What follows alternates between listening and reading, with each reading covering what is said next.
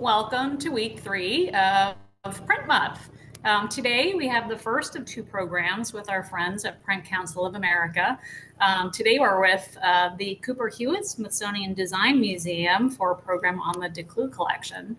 Um, the second program with PCA will be next week on Friday, October 27th, uh, at the IFPDA Print Fair at the Javits Center with Susan Dackerman uh, for a program on Durer and the Islamic East.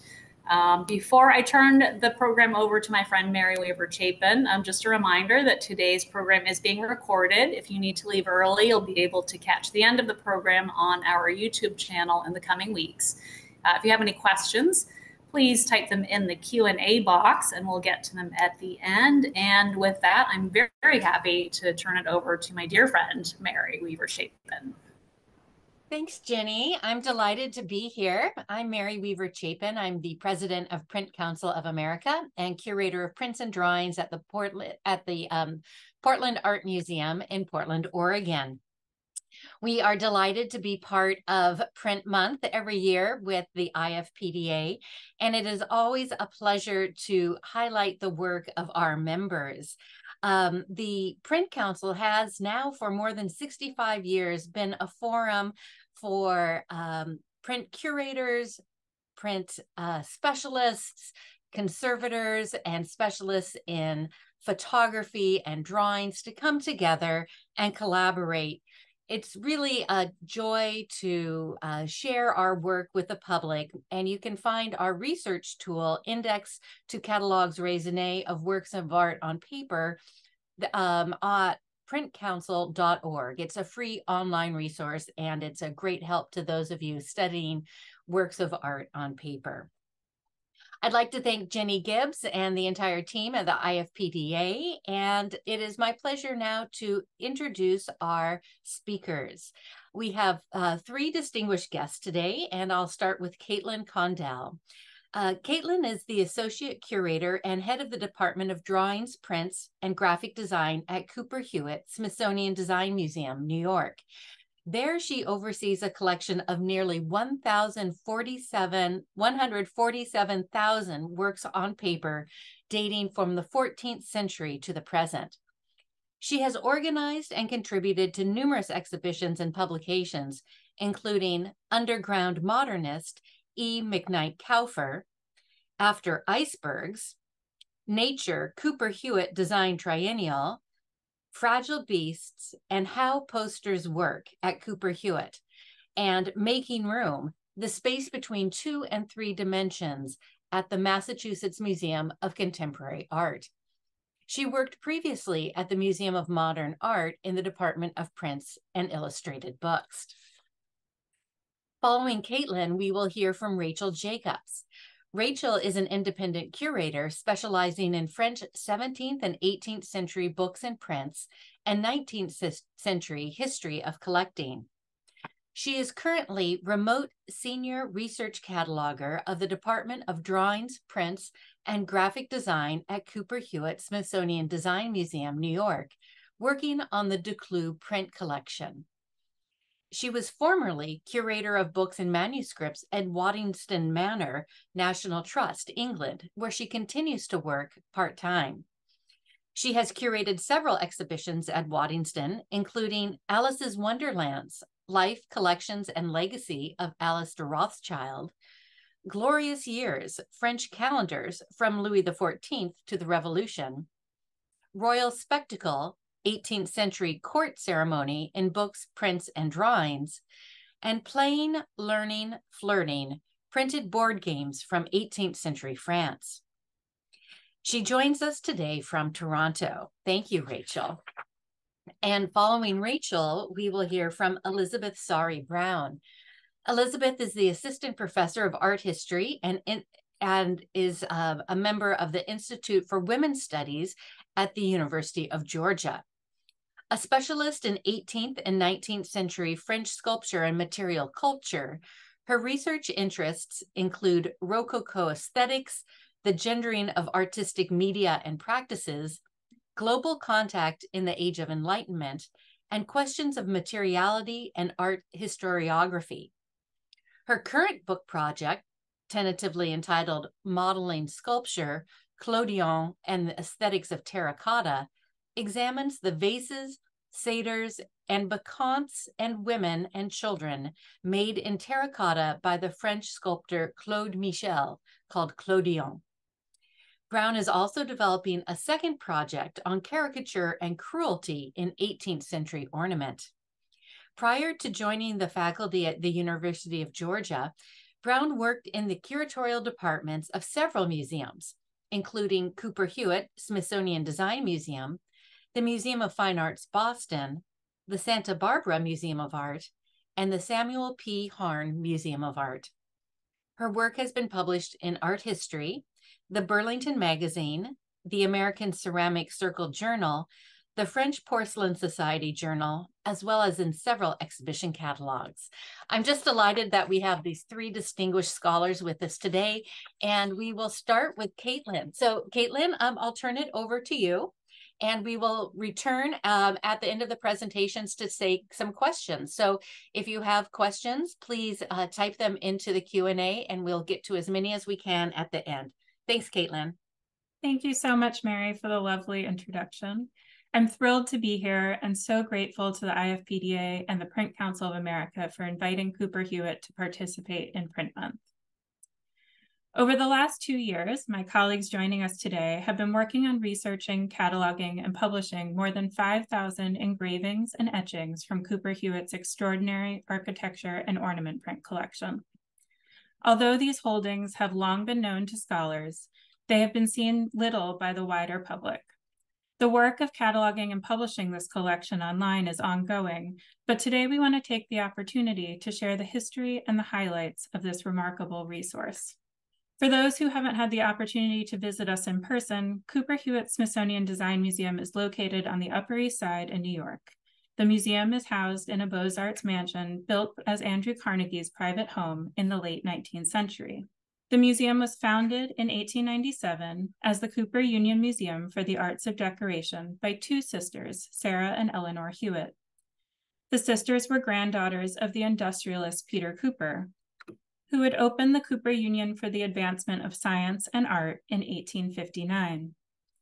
Cooper Union was a free school for men and women, and on the fourth floor of the building, there was a dedicated women's art school.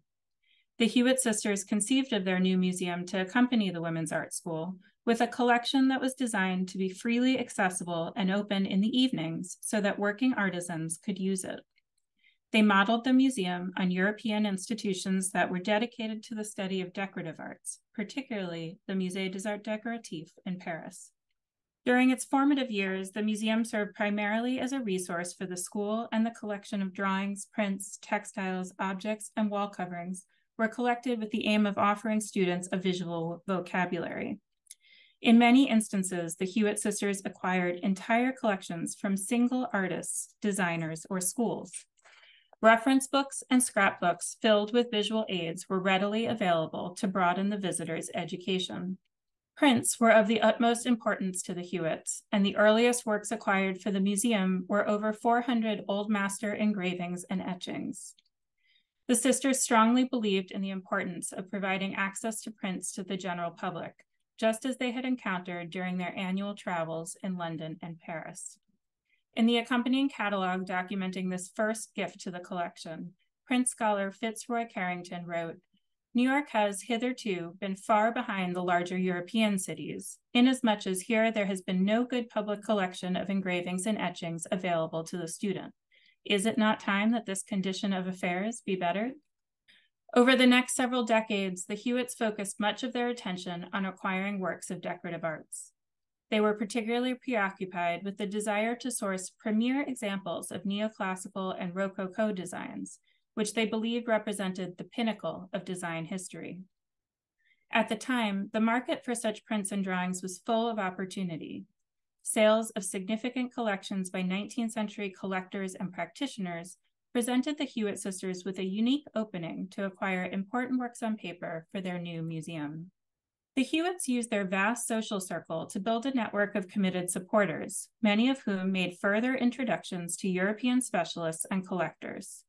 In 1906, the Hewitts were invited to a fortuitous luncheon with a French decorator and collector named Jean Leon Decloux. Decloux was born in 1840 to a Parisian family of decorators and contractors, and as a young man, he established a gilding shop with his eldest brother.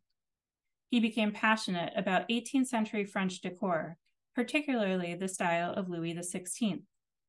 His study of the period enabled him to become a specialist in the signature ornamental painting of that period, and he continued to work as a decorator for clients while frequenting auctions, public sales, and antique shops.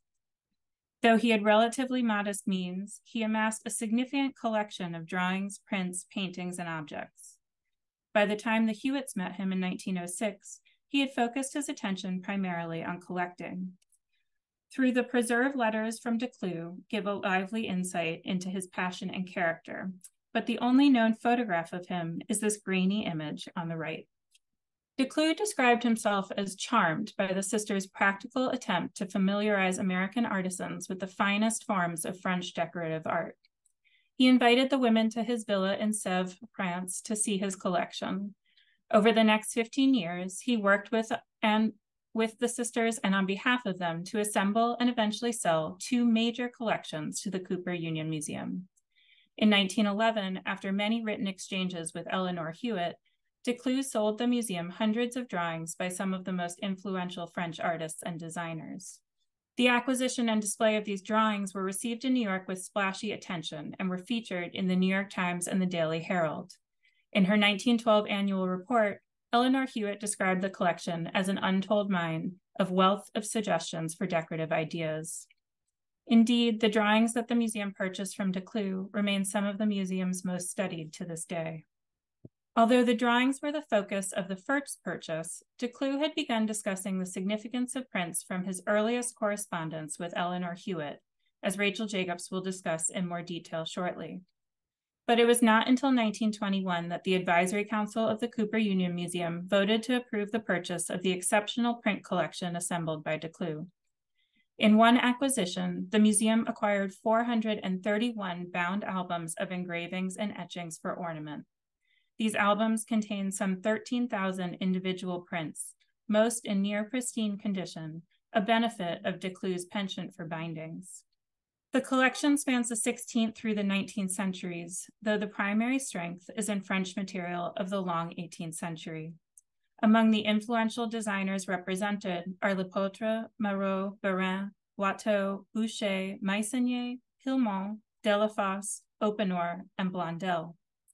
During these artists' lifetimes, there was extraordinary interest in the French market for serial prints or pattern books celebrating their work talented printmakers translated their innovations in architecture, interior design, and decoration into stunning works of graphic art. The period is considered the high point in ornamental design of this kind, and the collection includes designs for furniture, jewelry, porcelain, metalwork, architecture and interiors, embroidery, tapestries, and wall coverings. In the decades after the albums were acquired, they were used just as the Hewitt sisters intended, as objects for study for students and practitioners alike. The standard museum practices for handling objects were not yet employed, and students could retrieve albums at any time for their perusal. After Sarah Hewitt's death, a memorial library was constructed which housed the Decloux volumes displayed alongside important examples of the Decloux drawings acquisition. In this 1935 photograph on the left, two designs by Degorch are visible. For decades, the most reliable record of the bound ornament print collection was Decloux' own inventory books. Then, in 1956, the curator Richard Wunder undertook the first comprehensive inventory of the collection. Wunder's inventory, eventually typed, represented the only cataloging of the collection for many years. That changed in 1999 when the scholar Peter Fuehring dedicated his time to the research and study of the collection, and several members of the Print Council of America participated in an evaluation of the collection. Fuehring's comprehensive work completely transformed the scholarly understanding of the Decloux albums and remains a vital on site resource to this day. In recent years, Cooper Hewitt has undertaken a major effort to digitize our collections. In 2016, we undertook a campaign of photography to capture the majority of the Decloux prints. And in 2021, on the 100th anniversary of the acquisition, we began the project of comprehensively cataloging and publishing these prints online. My wonderful colleagues Rachel Jacobs and Elizabeth Saari Browne took up this challenge remotely when Smithsonian COVID 19 regulations prevented us from working on site with the collection directly. Special thanks also goes to my former colleague Julia Seaman, who was instrumental in the initial phases of our recent undertaking. Happily, we are now able to make the Decloux albums available online and in person by appointment in the Drue Heinz Study Center for Drawings and Prints. The collection continues to serve as a source of study and inspiration for designers and artists, as well as for students and scholars.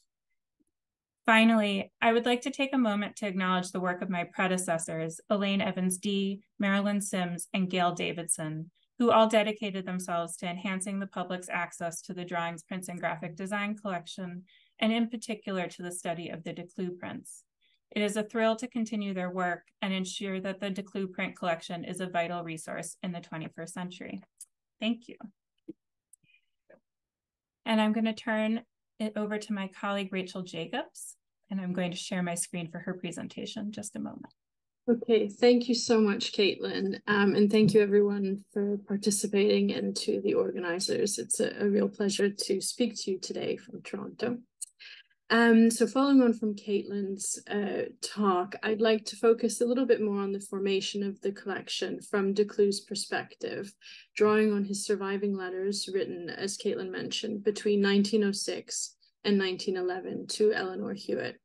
This fascinating, albeit one-sided correspondence provides valuable insight into the motivations for creating the collection um, and its intended uses and the value placed on certain artists and designers of the period. Um, it's important to note, as Caitlin mentions, that the um, letters speak about acquisitions of other types of objects and drawings as well, um, but I'm not going to be focusing on these today. As early as August 1907, Decloux mentions the project to create a library of ancient works for the school, stating that such a library is indispens indispensable for a school of decorative arts, for these documents are true sources and are as important as museum objects. This explains their rarity for, as he says, all the current school directors are purchasing similar books and prints, and thus he warns the sisters that if such a project is accepted, it will take many years to build the library. Decloux reiterates in his letters his preference for purchasing directly from collectors and mentions relationships he's cultivated over the years, without naming any names, of course. Um, before the library project is formalized, de Decloux is already preparing to send 13 albums of 18th century ornaments, as he puts it. And by 1907, the 13 become 16, which were eventually sent to New York in January 1908. And here um, is a doc is one of the letters which lists these um, these albums, um, these 16 first core albums. Uh, slide, please. The initial founding group of albums um, include two albums of metalwork designs by Jean-François Forty. And you can see here a beautiful design for an endiron or fire dog um, by Foin after Forty's designs in one of the albums. And seven albums of furniture, vase, and trophies after Richard de Lalonde. Uh, slide, please here are some beautiful trophies by de Lalonde. And with the, um, I, am showing the pictures as they appear, the, the slides within their albums, just to give you the full context. And later on in the presentation, I'll zoom in a little bit more so you can have a look at the, at the plates themselves. is around this time in late 1907 that Decloux also sends a list of foundation works that should be included in a library, stating that these represent the bare minimum for a library of decorative arts. Decloux was inspired by Peter Jessen's catalogue of the Berlin collection, which had been published in 1894, which he mentions in a letter as being under his eyes as he's writing to the sisters and regretting that France no longer has anything as complete as Berlin does. A slide, please. But before we look at the list in some detail, I want to finish describing how this library project developed. Before anything is formalized, Decloux keeps sending albums here and there, mentions purchases he's made, and hoping to interest the Hewitt sisters with such purchases that seem kind of outside of the initial scope. uh, such as albums of designs after Jean-François de Cuvilliés and his son, um, he mentions um, one purchase of uh, an old binding that he has restored and adds a specially commissioned manuscript title page along with two up and out albums for a total cost of 3,800 francs. He states that these would be a great uh, starting point for the library. The sisters decline the offer due to the price, um, but he's happy to keep them in, in mind for the sisters just in case they change their mind. Um, and here are uh, these sort of manuscript, beautifully illustrated um, uh, title pages that uh, has commissioned has commissioned for his albums. The project changes shape, as Caitlin mentions, when Decloux's nephew and heir dies, and so there's a whole host um, that far of, of these albums that come to the collection that go far beyond the um, the initial scope. At the time of his meeting the sisters, he'd already sold parts of his collection at four auctions, two print auctions in 1889. We see the title pages here. Ornament prints don't figure much in these two uh, sales that total 1,721 lots, most likely since he viewed these prints as source material and used them in, in much the same way that he and the sisters wanted the students to use the collection. Um, on multiple occasions, Decloux mentions painted 18th century paneling that he's having restored and repainted based on his documents, as he puts it. Um, Decloux describes eight panels in particular, repainted after pastels by Ranson and after prints by Piment from his own collections in these accounts, he's reinforcing the usefulness of the collection from the perspective of an artisan director, a decorator rather, um, and successful, successfully building his argument for the necessity of the library. Uh, he doesn't miss the opportunity to mention that these panels would also serve as good models for the students. So now let's look at the foundation list as, as he puts it. A slide, please. The title, this is part of the list, as you can see here, uh, is composition of a library, library of works of decorative arts from the 17th to the 19th century. The list is broken down into periods, Louis XIV, Regency, Louis XV, and Louis XVI, with a further breakdown outlining where completed oeuvres of a, uh, completed works of a certain artist or designer are available. Slide, please. Now I'll just show a few uh, examples very quickly from this list. Unsurprisingly, we find the oeuvre of Jean Bérain, as Caitlin mentioned, um, and here is uh, uh, two plates from an album, which was most likely described in the is is most likely the same um, album that was in Decloux's personal collection that he describes in the list as being 132 plates bound in what appears to be an 18th century modeled calf binding. And you see on the right the um, sort of funeral festivities, as we could put it, for the funeral of the Duc d'Orléans, brother to the King Louis XIV, and a wonderful, typically Bérain um, panel design with grotesque motifs. Slide, please. Also included are prints after Daniel Moreau, um, and here we see the uh, title page for um, a recueil of plans and architectural elevations and so on. Uh, Decloux says he's it's impossible to find a completed copy, and he managed and that he's only managed to gather 120 plates so far. He proposes an alternative to purchase a facsimile based on the Berlin collection that was published in 1892, which further emphasizes the fact that these prints were intended to be used first and foremost as models. Um, the facsimile, interestingly, the facsimile as well as the original uh, prints are now in part of the Decloux collection. And on the right, I just wanted to show you as well uh, a beautiful console table design by Jean-Bernard Honoré Turreau, known as Toro, which um, these designs are described by Decloux as very curious and very beautiful models for sculptures in particular. And that in 30 years, he's only managed to purchase 73 plates. We, of course, find the great inventors at Rococo, Meissonier, and Mopinard, and all of the wonderful plates that um, prints that Caitlin has already shown us. So I won't um, say all their names again. Um, but I do want to show you a few more highlights that are that go beyond this initial list that uh, mentions. And so please, next slide. We have an album containing a beautiful series of designs for stoves produced by a Parisian ceramic manufactory owned by Louis-François Olivier. Uh, these designs are by Louis Bosse and engraved by Louis-Gustave Taraval. The album includes a printed introductory text along with designs, as you can see, printed in black and also copies um, hand colored.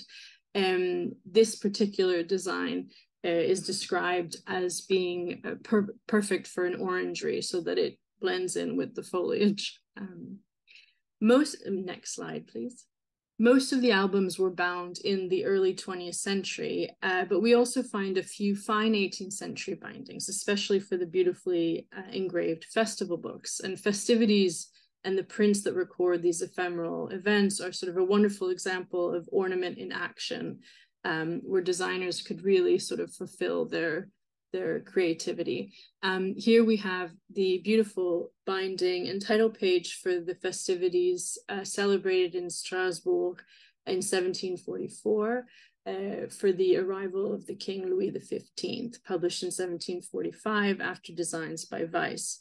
And here I was able to identify the, the, the binding by A.M. Padeloup, and interestingly, in terms of provenance, which we don't see much evidence of, of earlier provenance throughout the collection, but here we can see, obviously, on the, the covers that there are some heraldic devices in the corners, possibly for the member, for a member of the Swiss de Seurat family.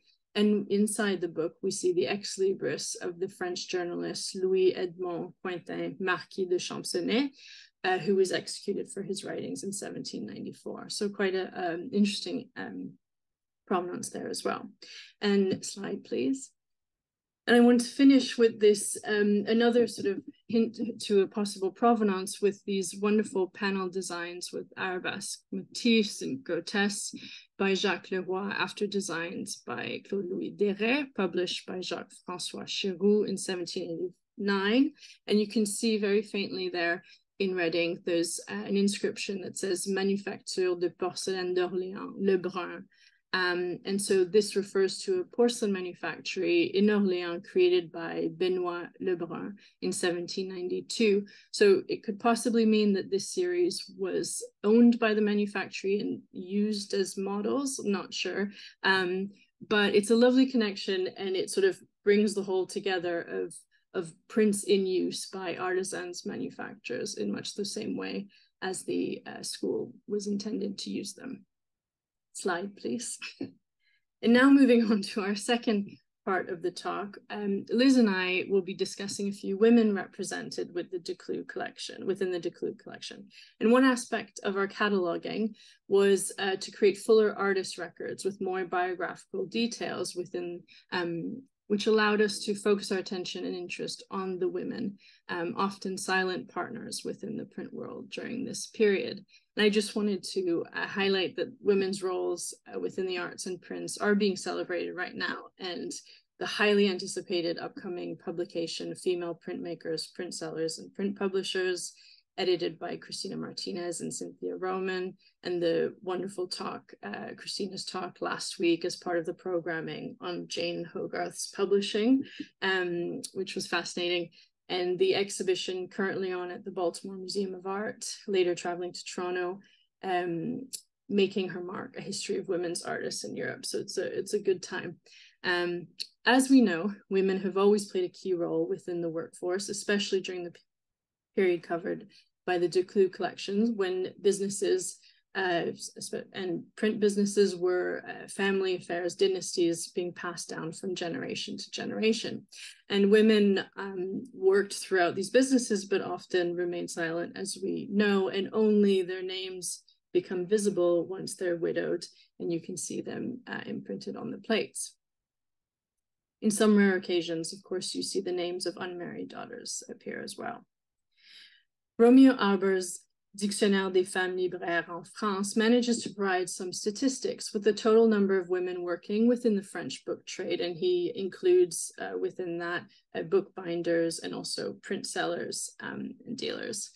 Between 1740 and 1870, he's calculated 6,424 women in all of France, and he breaks down the numbers by activity and the total number of print sellers he's managed to uncover uh, throughout this whole period is only 65.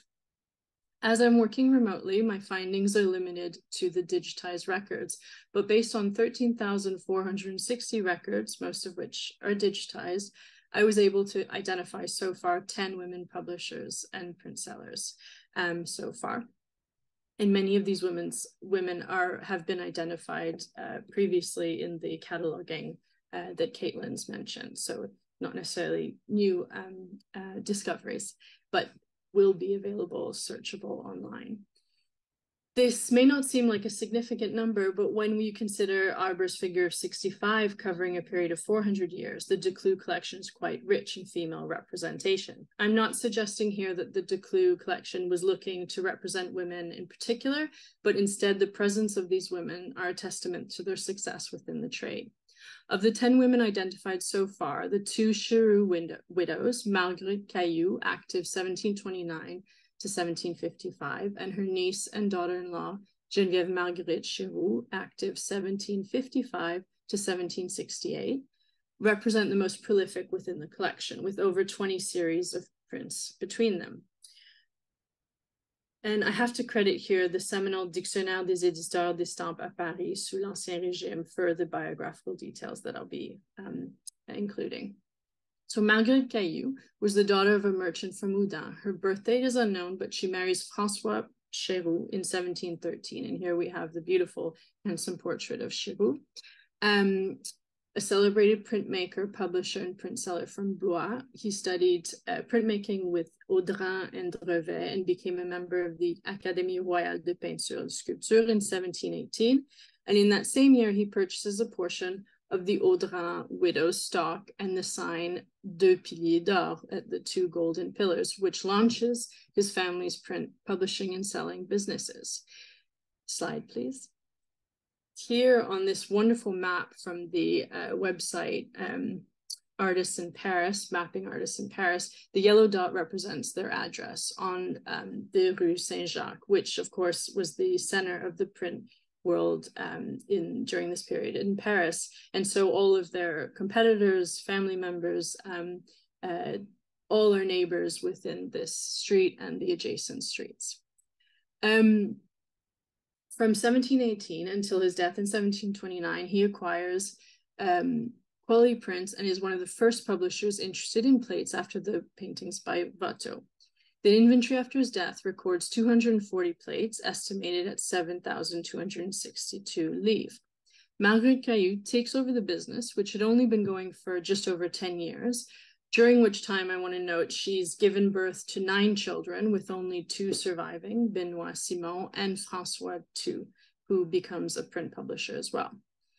She manages um, the business, and from 1729 until her death in 1755. She's quick to keep the business going, and only a few months later starts advertising uh, for prints that she's selling. Um, she frequently advertises in the Mercure de France with around two to three adverts per year, often for new prints after paintings by Watteau. She obtains privileges in 1730 for a series of prints after Van Loo, Lancret, Poussin, Watteau, and Gillot. And I just want to mention one advertisement in 1730 for portraits of the king and queen after Van Loo, engraved by Gilles Edme Petit and Jacques Chéreau. Here, Margaret is described as La Veuve, the, the widow of François Chéreau of the Academy Royal of Painting and Sculpture, and engraver to the cabinet of the king, adding weight and authority to her name and her prints. We can also see her here the importance of networks. Firstly, Jacques Chéreau was her brother-in-law, who was also a famous and a successful printmaker. And Gilles Edme Petit was an apprentice of her late husband, Francois, who also happened to marry Margaret's sister, Anne Caillou a, a, good example of her business sense in October 1739. She acquires all the plates and the impressions of the completed of, of Watteau, uh, known as the Recueil de Jullienne, purchasing them from Jean de Jullienne, and advertising, advertises that she is selling them for half the price. Here we have an example which um, Caitlin showed a couple from the same album of Watteau's ornament designs featuring arabesque panels with pastoral, mythological, and allegorical scene within found within an album of Gillot and Watteau prints engraved by Huquier. Um, these are, this is the production of, of. Uh, we also find uh, within the collection Jacques Valentin's ornamental ironwork designs um, from an album. Uh, in here, we see featuring heraldic devices and motifs. Um, and slide, please. And a series of floral designs uh, by Charles, floral ornament designs by Charles Germain de Saint-Aubin, dedicated to Duchesse de Chevreuse. As well as managing a successful print publishing and selling business, Margaret purchases two houses, one in 1739 and another in 1752, which she rents out. Her tenants in one of the houses from 1752 was the printmaker Nicolas Dauphin Beauvais and his family, whose children also worked in the trade. And I only mention this because um, his daughters who also published prints under the address Chez les Demoiselles Beauvais, so a rare example of unmarried daughters of printmakers publishing under their name. At the time of her death in April 1755, her stock and plates uh, her stock of plates and prints is estimated to around 23,000, doubling, doubling her stock and significantly growing the family business, establishing herself as an important seller um, in the 18th century. Unlike many women within the trade, she doesn't pass on the business to her son, uh, but she does collaborate with him. Her son unfortunately dies a few months before Margaret, which brings us to the next Chéreau widow I want to focus on, Geneviève Marguerite Chéreau. François II marries his first cousin, Geneviève Marguerite, the daughter of his uncle printmaker, Jacques François, who we've mentioned already. Her dowry is used to purchase a stock of plates and prints, and at the time of his early death, the inventory of plates and prints is estimated close to 22,000 livres. In 1755, she therefore takes over the family business, inherits both from her husband and her mother-in-law slash also aunt Marguerite, and continues to use the same address, Aux Deux Piliers d'Or. Another important family connection here is her is that her sister Anne Louise marries the uh, famous printmaker and seller Jacques Gabriel Huquier. Um, Marguerite, Geneviève Marguerite manages the business under her own name from 1755 to 1768 until she sells her stock to Jacques, her son Jacques Francois when he's around 25 years old. Despite this relatively short period of time, she continues uh, to run the business successfully, and she represents the most prolific seller in the collection. Anthony Griffiths de describes her as one of the most powerful figures in the Parisian print world. Two series of designs here we can see for tailpieces and prints, uh, printer's flowers of Florence after Bachelier's woodcuts for the monumental Oudry edition of De La Fontaine's Fables. Um, and here, these uh, woodcuts are especially engraved by Chauffard for this edition, uh, published by Geneviève Marguerite in partnership with de Montenon, who had the privileges. On the left here, we have a wonderfully dense ornamental hunting trophy featuring all the necessary motifs by the architect and engraver Mat Mathurin Cherpitel. And on the right is an album uh, with these wonderful series of cartouche designs by a lesser known artist, uh, Bosch. And I'm showing you, um, these are all published obviously by the, the widow Chéreau. Uh, next slide, please. And these wonderful vases etched by uh, Personnet, uh, combining these wonderful formal classical motifs, goût l'antique, goût grec, with the with these wonderful natural, with the natural world. And they do um, making them sort of come alive, uh, much like the designs by um, Petitot. Um, and a series of these uh, were engraved by Gilles Demarteau in red chalk Crayon manner as well. I wanted to show you also two architectural prints uh, from her stock, um, including a plate from a series of designs for chimney pieces on the right by A. Le Canu, and a plan for a second, first and second floor of a building, which I thought was particular interest because it does um, show in the lower right a boot, a shop front. So it could very well be a house that is similar to what a printmaker, a print seller would be uh, living in. The advertisements also attest to her interest in publishing inventive prints based on new technologies, with examples by Louis Marin Bonnet. A slide, please inventor of the crayon manner. In the collection, there's an about album of beautiful ornament designs by Bonnet after designs by Chauffard. In his red ink crayon manner, imitating drawings in red chalk. The illusion of drawing here works perfectly with this purely ornamental subject of the flowers intertwined with scrolling acanthus leaves on a base, possibly suggesting a design for an andiron or fire dog, but it's, it's quite loose. Slide, please. I want to end with a portrait of Geneviève Marguerite's son, Jacques Francois Chéreau, who purchases her stock and takes over the family business in 1768. In 1776, her maternal grandfather, the printmaker and publisher Jacques Chéreau, sells him his stock, and thus the two branches of the Chéreau dynasty are united. He becomes one of the most important Parisian print publishers of the time and print sellers, but the women in this dynasty uh, are the key figures really in the success and longevity of the family, I think. And this well-known print by Antoine Carré after Benoit Prévost, a portrait of Jacques Francois, who's elegantly dressed, seated at his desk contemplating a drawing or print, with family portraits on the wall behind, presumably his wife in the upper center oval, uh, framed by portraits of his children, and below are portraits of his parents, Geneviève Marguerite and François de Chéreau. The placements of the two portraits creates a secondary pendant relationship between mother and son. The mother who taught him the trade with the Latin inscription paying tribute to his family. And so after speaking their names, it is only fitting that we end with this extremely rare portrait, putting a name to a face to one of the not so invisible widows of the print world. Thank you very much. Thank you so much for having me. And thank you for uh, Rachel for um, showing all those gorgeous slides. I have to say, I never tire of looking at them. They make me so happy every time I see them on screen. Um, so as Caitlin and Rachel have mentioned, one of the priorities in cataloging the Decloux collection into TMS was to make the women publishers and engravers searchable within the database and in the future, more easily findable on the Cooper Hewitt Smithsonian Design Museum website. Earlier cataloging projects of the Decloux collection, an inventory completed in 1956, and more recent research accomplished by Peter Fuhring, already recognized the names of many women artists among the more than 13,000 prints.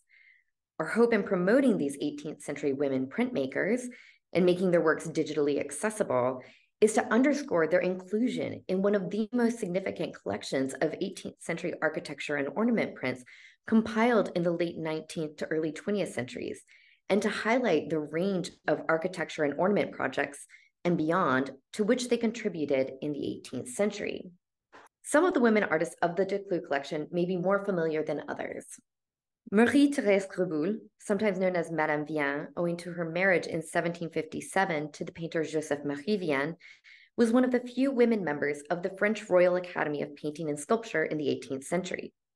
Admitted into the Academy in 1757, Reboul Vien showed ornithological, butterfly, and floral paintings at five of the Salon exhibitions between 1757 and 1767. But even before her meeting and marriage to Vien, Reboul was working as a professional artist. Primarily, Reboul Vien was employed in natural history illustration, and her name appears on publications such as Michel Adanson's Natural History of Senegal, published in 1757, and the Dissertation on Papyrus by the Comte Caylus from 1758, both for which she drew and engraved shell and plant specimens, often directly après nature.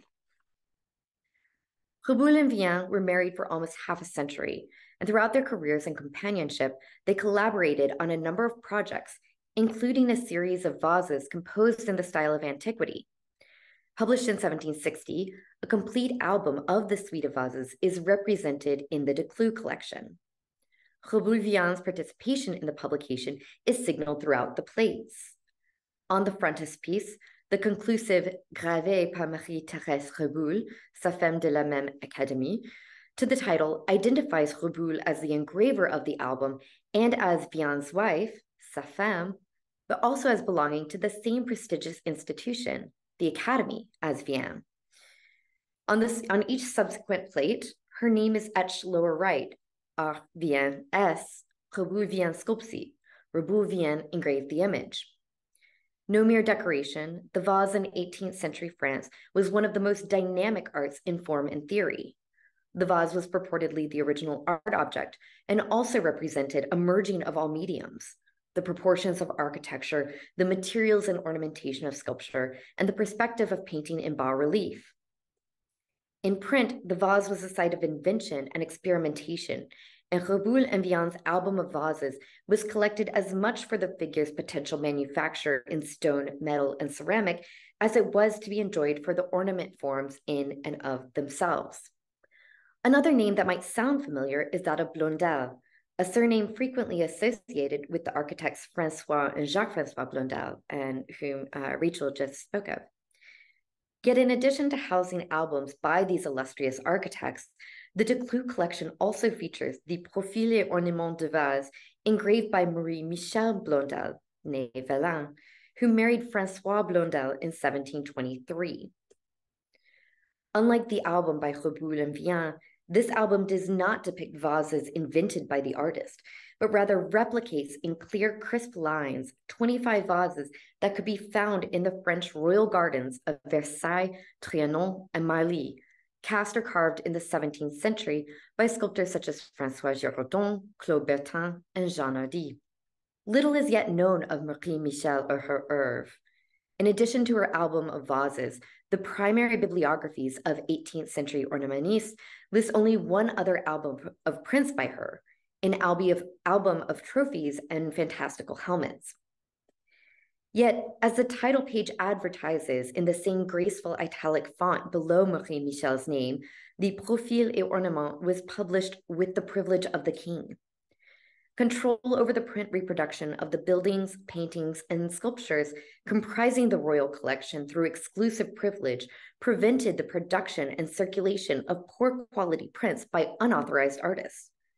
While the Blondel likely secured the privilege owing to Francois' position as architect to the king, the privilege also attests to Marie Michel's skills and renown as an engraver, as an artist permitted by the superintendent of the king's buildings to reproduce works of art from the royal collection.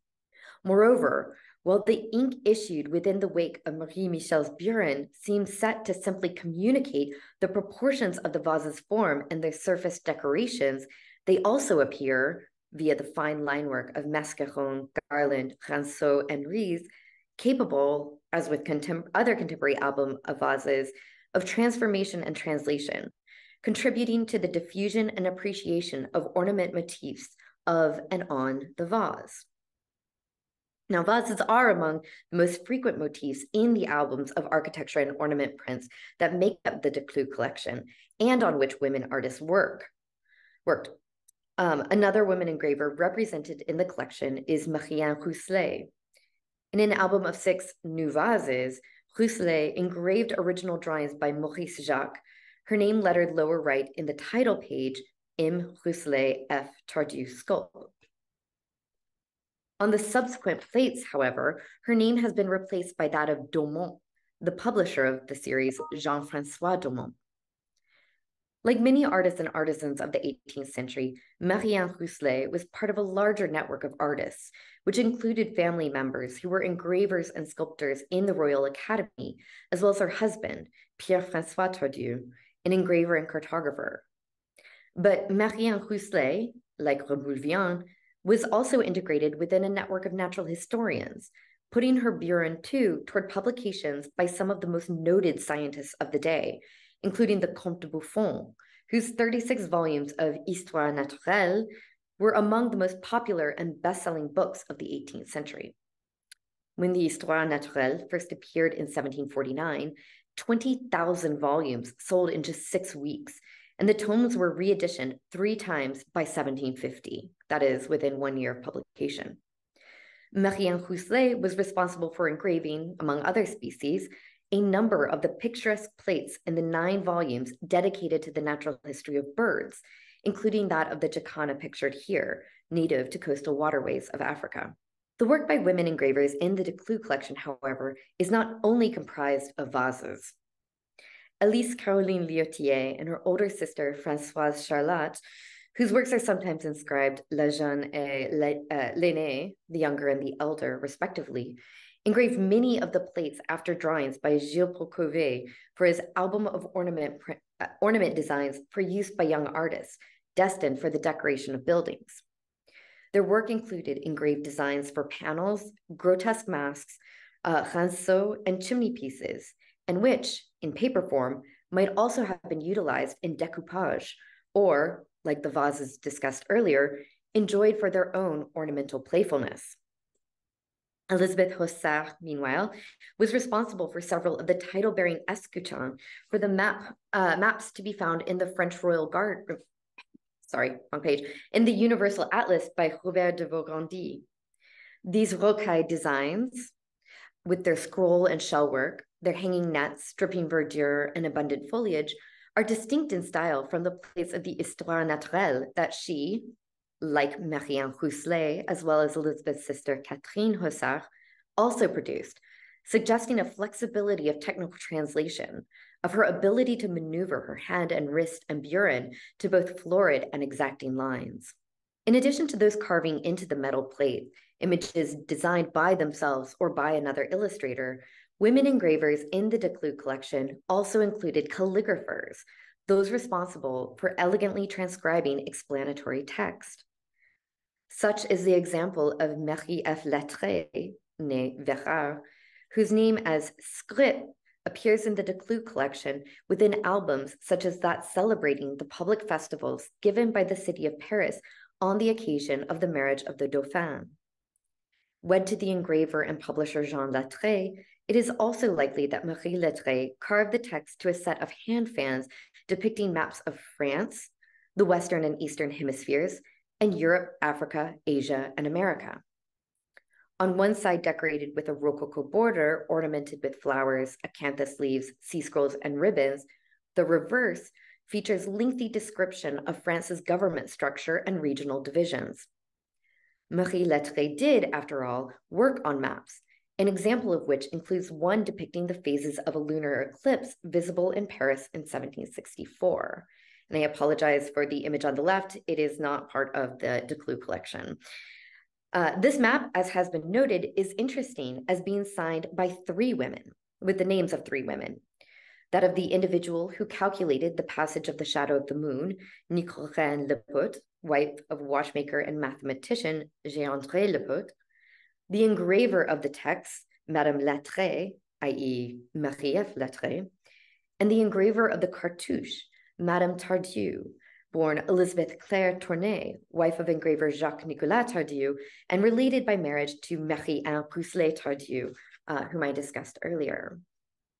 However, when the Mercure de France announced the publication of the print, these women's labors were attributed to their spouses as being, and I quote, calculated by Monsieur de Lepaute, the geographical portion engraved by Monsieur Lattré, and for the ornament, Monsieur de Tardieu. With the extraordinary number of albums and prints comprising the Decloux collection, there are other women engravers whose work still requires cataloging and further research. These include, among others, Marie-Thérèse Martinet, who engraved trophies after ornamentistes such as Alexis Peyrotte, Suzanne Elizabeth Sauvestre, known for her skill engraving portraits, Anne Fonbonne, who worked with academicians such as Lambert Sigisbert Adam to replicate his drawings of sculptural restorations, and also one Mademoiselle Thévenin. Making visible their extensive contributions within the Decloux collection demonstrates the greater participation of women artists in 18th century print culture than is generally thought, and highlights their role in some of the most significant architecture and ornament print albums in the 18th century and as collected or and as held in the Decloux collection. Thank you. Thank you so much for this marvelous presentation, Elizabeth, Rachel, and Caitlin. Um, there are so many questions that spring to mind. I'd like to start, if I may, with uh, a question to, I think this should go to Rachel. Um, can you tell us more about the bound albums?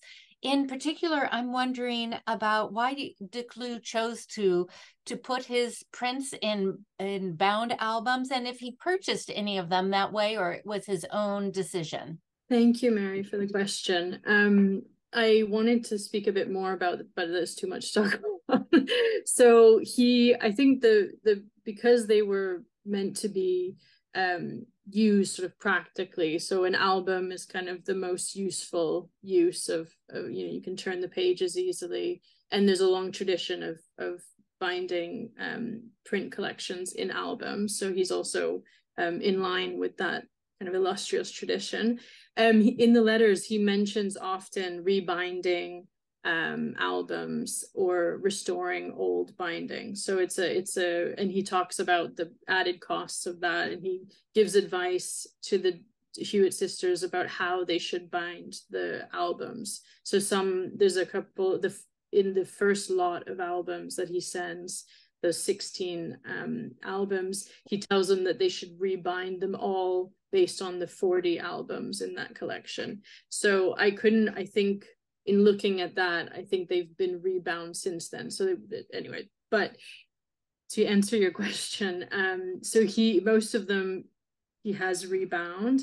They've been later rebound uh, in once they in some cases once they're in the collection. Some albums um, were restored and rebound, but there are also, as I mentioned, what he he makes a sort of distinction between old ancien livres, old books, and albums too. So he is collecting um, those, and as I mentioned, the um, festival books are often in kind of 18th century bindings. There's another festival book I didn't show, which show uh, festivities, a group of of prints um, compiled together by the Menu Plaisir in France, showing various uh, ephemeral festivals um, and that's bound in a beautiful uh, Morocco binding with an actual um, uh, with the the binder's uh, trade card or pasted into it velled. So there's also evidence of of that. Um, and then there's also uh, most of the 18th century bindings are are not kind of the examples of the fine uh, fine sort of red Morocco gold tooling, but but still very nice with kind of modeled calf and, and kind of the normal what you'd find for a, a, a good quality library, but not your wow pieces. Does that answer? So it was a bit of a ramble, but I think Sorry, need to unmute. Thank you, Rachel. Um, I'd like to ask Caitlin sort of a practical question. One, Caitlin, how can um, how can we access this collection? You said it's being digitized. Is it already available? Will that be ongoing? Or are you going to wait until everything is ready to go? Um, excellent question. I was just um, exchanging messages with Liz because I was hoping to share links in the chat, um, which isn't seeming to work. So um, everything that has been done by Rachel and Liz is available online on um, Cooper Hewitt's website and also on the Smithsonian Collection Search website. And I actually strongly recommend to scholars to look closely. Oh, thank you so much, uh, Michelle. Uh, to look closely at the um, collection search website of the Smithsonian, which has a sort of more rigorous search function and allows for more detailed um, information pulled from the level of publisher, printer, series title that Rachel and Liz have detailed in the TMS cataloging. So the work is ongoing. Every few weeks, we add more works to the collection sites in both cases. Um, but a little over 5,000 have been added over the course of the last year, um, representing the work of Liz and Rachel. And I've also included the link to the Cooper Hewitt Study Center's website, which has the general line for the department. And so any inquiries about seeing the collection or about the resources that we have for the Decloux collection can be directed there. Uh, Liz and Rachel and I also maintain an active spreadsheet. So for people who are really interested, I can send that um, when requested. Another question, if I may, um, Caitlin, is uh, you you mentioned that this project. It start was started much earlier, but it really came uh, to into focus um, around 2020 2021 and of course we're in pandemic lockdown.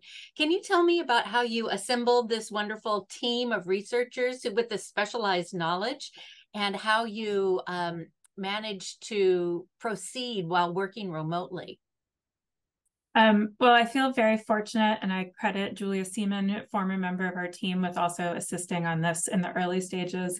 Um, as many of you know, the Smithsonian had very strict regulations um, during the COVID pandemic, and we were not permitted on site um, for a very extended period of time, of more than 18 months. And we didn't want to stop the work of the important work we were doing around trying to move forward with the collection.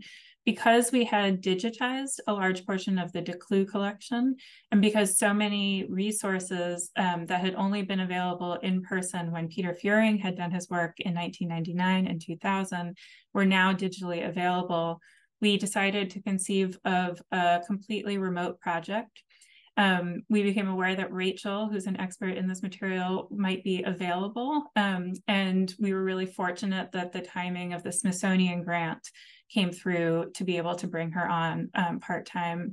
And we then, after she did some work to develop a sort of standards manual for us and get a sense of how we should approach the project, we brought Liz on part time um, who was busy um, based in Georgia. So Rachel was based in Toronto, Liz was based in Georgia. Liz has managed to be at Cooper Hewitt twice to see the collection in person, I believe. Rachel is actually coming for the very first time next week. Um, some of you will meet her in person. And I always say um, it's ideal to do cataloging in person. It wouldn't have been how I would have originally chosen to do the project. But the COVID pandemic made us all aware, I think um, everyone on this call, how important online resources were. So it actually was a challenge for us and an exciting project for the Smithsonian to try to undertake and think about how we could make the best use of it. There are a few limitations in the cataloging as a result, and Liz and Rachel could speak a little bit more about that if they wanted. Um, so there's things left to do in some of the cataloging work that they've taken on. Uh, Rachel will be continuing to work part-time remote and part-time on-site with us. Liz, we've lost to a wonderful tenure position at the University of Georgia. But Rachel and Jacob, do you want, uh, Rachel and Liz, do you want to talk a little bit more about the challenges or the opportunities of remote cataloging? Liz, do you want to start or I? Um, I, I mean, it's it's a fun, like you said, it was a great opportunity, especially with where I was before, um, and I'm still affiliated, but with Waddesdon Manor, we were furloughed. And uh, the idea that you have all this time, I mean, I understand why we were furloughed, but when you have all this this time that could be used towards the cataloging, which is the the base of kind of your curatorial work, and to not be able to do that being able to jump onto this project was really kind of a wonderful opportunity and really fulfilling. Um, yeah, obviously there's there's limitations. The photographs are wonderful quality. Um, but yes, so we things when you have specific questions, obviously with uh, technique and and obviously dimensions you're not getting a grasp of. So there's limitations there with little things to double check um, here and there. But overall, it's been quite quite good. I was lucky in that at Waddesdon Manor, there's a lot of crossover with the ornament collection. So I was, I have in the past worked with a lot of the similar, similar prints in person. so at least I had that kind of muscle memory there. But um, it was a, it was really a, a fun project and, and a good challenge to to think about how to tackle it. And it, the Smithsonian, Cooper Hewitt, you were all so wonderful and accommodating, and it was wonderful it is wonderful. It's ongoing. Thank you. And I was going to just add, you know, as um, challenging as it was to be remote and away from those resources, um, you know, and just getting to, you know, play with the prints in person, which was such a joyous experience when I went to go visit. Um, you know, everything was made available to us as quickly as possible. Um, in addition to the prints, there are also, you know, binders of notes and of research that had been previously done, um, and which was not part of the TMS record initially. And anytime, you know, we needed those records, especially after a couple of months, there was someone who could go on on site um, photograph, scan those records for us and get them to us so that we could, you know, corroborate our research, what we had accomplished with what had previously been done as well. Um, so it was, you know, um, you know, a new experience working remotely, but certainly worked out well for I think all of our situations um. And I'll clarify for anyone who doesn't spend their time cataloging, uh, TMS refers to the museum system. It's our database used by many um, many museums around the country. Um, here's a question that came in, and perhaps this is for you, Caitlin. Uh, you mentioned that these are it's an ongoing project. Um, are there any prints that were too fragile to photograph? Um, and how are you dealing with that? And then uh, to what extent, what percentage of the Decloux collection is available online currently? Wonderful question. So um, we have photographed about 9,000 of the 13,000 and change prints that make up the bound ornament collection, Decloux specific. Um, Cooper Hewitt continued to collect uh, ornament, both bound and unbound. And but the Decloux collection is a premier collection because it's sort of distinct. We decided to focus our attention on it um, for now. The reason that we didn't digitize the remainder of the collection in 2016 into 2017 was because of condition. That tends to not be um, the issue with the prints themselves, but actually the bindings, which haven't necessarily held up as well over time. And we were doing an experimental rapid capture project with high resolution photography. One of the things we thought about at the time, or I thought about, was trying to think how the images would be used well into the future. And we decided to digitize the books in such a way that if we wanted to be able to do a sort of digital flip through of the books down the road, which we don't have the capability or the wireframe at the moment to do, but which I think would be a long term dream for access, we decided to do the digitization project with that in mind. So all of the bound prints that we did photograph, which about 9,000, were digitized in that way. And those images appear online. And one of the things I found is that it also helps to avoid misleading information. It's easy, as you saw in my presentation, when you see some beautifully cropped images to the plate mark, to not understand that the objects are actually bound together. So that was a, a, decision we made. The remainder of the prints are something that we want to pursue digitization of. They'll require some conservator handling um, and repairs of the bindings. And because of the remote nature of a lot of the work over the last couple of years, we focused our attention on the cataloging. The images are actually all available online. It's just a challenge, um, I admit, to find them when there's no metadata to search with. Great. Thank you so much. Um, I should mention that we are recording this. I know some people have to to drop off as um, as time allows. Um, but we'll probably just go to uh, one or two more questions. Um, I also want to introduce Deborah Wood, who is our Vice President of Print Council of America and has been here throughout uh, um, gathering talks and promoting work by Print Council of America.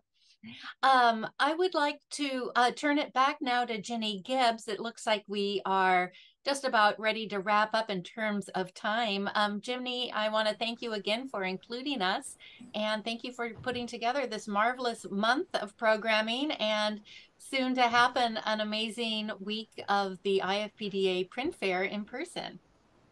Thanks, Mary. Thanks to our friends at Print Council of America and Cooper Hewitt Smithsonian Design Museum. Uh, thank you, Mary, Caitlin, Rachel, Liz, for that excellent program. And I hope that you all can join us tomorrow uh, at 12 noon Eastern for what is always one of the highlights of Print Month, uh, Print Study Day presented by the Metropolitan Museum of Art. And this year, the focus is on technical innovation and socio-political impact in the 19th and 20th century. Um, so we hope to see you tomorrow, and we hope to see you at the Javits Center next week. Bye, everyone. Thank you.